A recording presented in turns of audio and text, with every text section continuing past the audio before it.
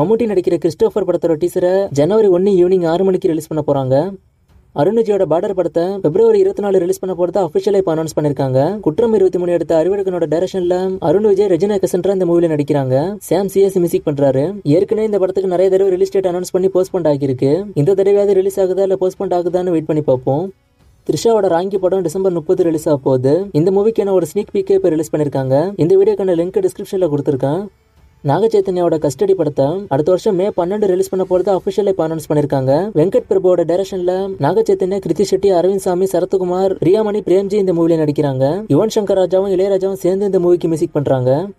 ஒன்னியன் Selvan part two அடுத்த வருஷம் April இருபத்தெட்டு ரிலீஸ் பண்ண போறதா அனௌன்ஸ் பண்ணி ஒரு அனௌன்ஸ்மெண்ட் வீடியோவை ரிலீஸ் பண்ணிருக்காங்க. அந்த அனௌன்ஸ்மெண்ட் வீடியோக்கான லிங்க் டிஸ்கிரிப்ஷன்ல கொடுத்துருக்கேன். விக்ரம் ஜெயம் ரவி கார்த்தி ஐஸ்வர்யா ராய்னு நாலு பேர் தான் அந்த அனௌன்ஸ்மெண்ட் வீடியோல காமிச்சிருக்காங்க. பொன்னியின் செல்வன் பார்ட் ஒன் ஒரு இண்டஸ்ட்ரி ஹிட் மூவி அதே மாதிரி இந்த பொன்னியின் செல்வன் பார்ட் டூவும் ஒரு பெரிய ஹிட் ஆகும்னு நம்ம எதிர்பார்க்கலாம்.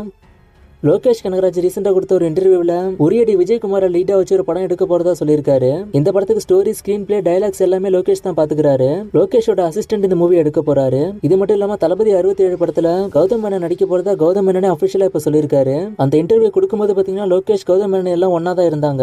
சோ லோகேஷ் கிட்ட பர்மிஷன் வாங்கி தான் கௌதம் மேனன் அந்த அப்டேட்டே கொடுத்தாரு. லோகேஷ் இன்னும் நிறைய விஷயங்கள் இந்த படத்தை பத்தி சொல்லியிருக்காரு. இந்த தளபதி அறுபத்தி ஏழுக்கு பாத்தீங்கன்னா மேயதமான் எடுத்த ரத்னகுமாரும் ஜில்ஜாங் சக் எடுத்த தீரஜ் வைத்தியம் சேர்ந்து தான் டைலாக்ஸ் எழுத போறாங்க?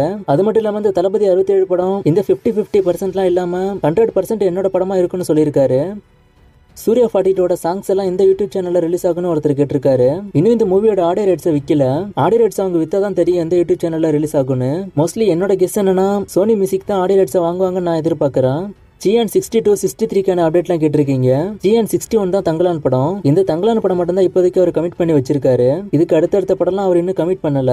டிஎஸ்பி படம் ஹிட்டா ஃபிளாப்பான ஒருத்தர் கேட்டிருக்காரு. யோசிக்கவே வேணாம். கண்டிப்பா படம் ஃபிளாப் தான். கேஜிஎஃப் த்ரீ அப்டேட் இந்தியன் டூவோட ரிலீஸ் டேட் விடுதலை படத்தோட ரிலீஸ் டேட்லாம் கேட்டிருக்கீங்க. கேஜிஎஃப் த்ரீக்கான அப்டேட் இன்னும் வரல. வந்ததை நான் சொல்றேன். இந்தியன் டூ பாத்தீங்கன்னா அடுத்த வருஷத்தோட செகண்ட் ஹாஃப்லயும் விடுதலை அடுத்த வருஷத்தோட ஃபர்ஸ்ட் ஹாஃப்லயும் ரிலீஸ் ஆகிரும். கட்டாகுஸ்தி படத்தோட பட்ஜெட் என்ன? கட்டாகுஸ்தி படம் ஹிட்டா பண்ணி கேட்டிருக்கீங்க. இந்த படத்தோட பட்ஜெட் இருபத்தஞ்சு கோடி கிட்ட போகுது. இந்த படம் பாத்தீங்கன்னா தமிழ்நாட்டுல ஹிட்டும் ஆகிடுச்சு. ஆனா ஒரு சில ஸ்டேட்ல இந்த படம் லாஸ் ஆகிடுச்சு. குறிப்பா மலையாளத்துல இந்த படம் லாஸ் ஆகிடுச்சு.